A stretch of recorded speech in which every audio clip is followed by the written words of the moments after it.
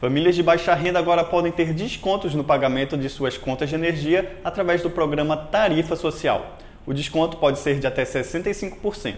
Segundo a Amazonas Energia, 220 mil famílias já foram beneficiadas aqui no estado. Para ter direito ao benefício, a família precisa ser inscrita no cadastro único, com renda familiar mensal per capita menor ou igual a meio salário mínimo, ou que tenha renda mensal de até três salários mínimos, mas que tenha na residência um portador de doença ou deficiência e o tratamento necessite de aparelhos que consumam energia elétrica. Também podem ser beneficiados os idosos com 65 anos ou mais e pessoas com deficiência que recebam benefício de prestação continuada da assistência social.